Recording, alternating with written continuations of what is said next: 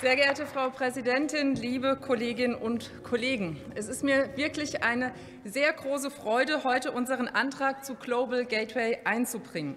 Und ich sage Ihnen auch, warum. Ich halte es für absolut notwendig, dass wir als Europäerinnen und Europäer unseren Way of Life verteidigen und uns aktiv und selbstbewusst in der Systemkonkurrenz gegenüber gerade China positionieren. Und wir von der CDU-CSU-Fraktion haben uns in den letzten Monaten immer wieder gefragt, liebe Kolleginnen und Kollegen von der Ampel, ob sie die Notwendigkeit zu handeln auch endlich sehen. Und ich muss wirklich sagen, als ich am Montag ins Handelsblatt geschaut habe, war ich, das möchte ich mal sagen, positiv überrascht. Da bringen wir unseren Antrag ein zu Global Gateway. In der letzten Woche setzen wir ihn auf und zack, Wenige Tage vor der Debatte landet ein Geheimpapier von Ihnen dazu in der Presse. Und endlich äußern Sie sich hier konkret und öffentlich. Und das ist wirklich ein wichtiger Prozess. Und vielleicht darf man das vor Weihnachten auch einmal sagen. Das ist wirklich ein vernünftiger und demokratischer Prozess. Aber, liebe Kolleginnen und Kollegen, man darf auch noch Wünsche haben vor Weihnachten. Bitte beschleunigen, und das meine ich sehr ernsthaft, beschleunigen Sie Ihre Prozesse, wenn es um das wichtige Feld der Außen- und Sicherheitspolitik geht. Das ist uns wirklich ein ganz großes Anliegen.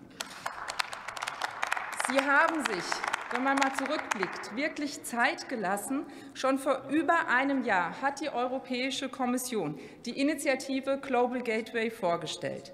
Ziel ist es darin, 300 Milliarden an öffentlichen und privaten Geldern bereitzustellen und damit Europas Rolle für globale Infrastruktur zu stärken.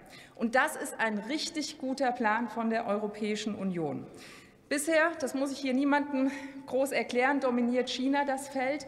Mit der Seidenstraßeninitiative über eine Billion US-Dollar sind schon investiert. Im Gegenzug sitzen dann chinesische Politkommissare in den wichtigen Häfen, zum Beispiel in Djibouti. Und diese Häfen werden dann über Straßen, die natürlich auch die Chinesen ähm, gebaut haben, mit Ressourcen aus dem Hinterland versorgt.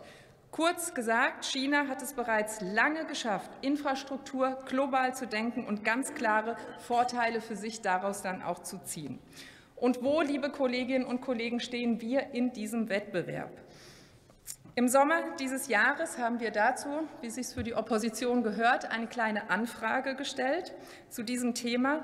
Wir hatten Sie unter anderem nach konkreten Projekten gefragt, die die Bundesregierung im Rahmen von Global Gateway unterstützen würde. Wir hatten gefragt, welche Projekte Sie aktiv einbringen wollen. Und Ihre Antwort darauf war damals, Sie können es nachlesen, wirklich nichts. Es gab leere Phrasen, es gab Verweise aus Gesprächsrunden, aber wirklich konkrete Projekte oder eigene Initiativen, komplette Fehlanzeige. Aber dafür gibt es ja auch uns. Und immerhin, Sie scheinen daraus, und die frohe Botschaft vor Weihnachten, gelernt zu haben. Nachdem wir diese kleine Anfrage gestellt hatten und diese Plenardebatte nachgeschoben haben, bewegt sich endlich etwas. Es gibt endlich konkrete Vorschläge, das finden wir gut.